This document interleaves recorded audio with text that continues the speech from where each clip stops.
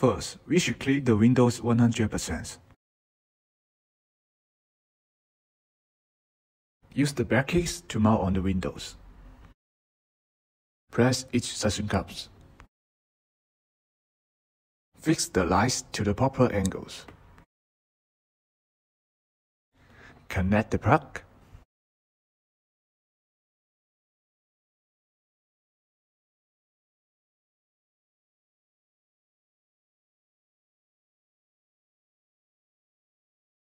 Same ways for the other sides.